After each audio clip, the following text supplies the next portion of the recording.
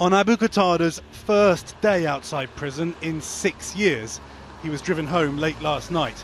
A Home Office minister was already in Jordan trying to secure the extremist cleric's deportation to that country. The minister met his opposite number in Amman this morning, who says progress is being made.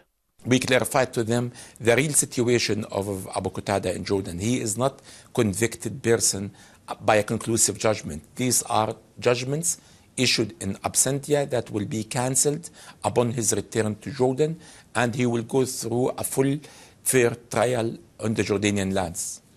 But judges in Europe will need to be convinced that Abu Qatada's trial will not involve witnesses subject to torture.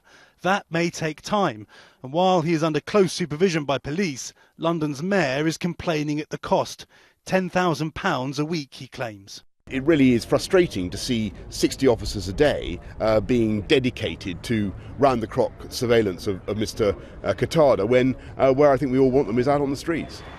In Jordan, Abu Qatada's brother says they have spoken by phone. Among the many restrictions placed on him before his release was a ban on talking to anyone but his close family. And his family in Jordan say they would like to see him return there, but if that does happen, I don't think it's likely to happen at any time soon. You can expect Abu Qatada's legal team to oppose the government at every uh, step of the way. The first step for the Home Office perhaps will be to try to revoke his bail. Many people will find it extraordinary that he might be prepared to face jail again rather than face trial in Jordan. Others will say, such is that country's human rights record, it's not surprising at all.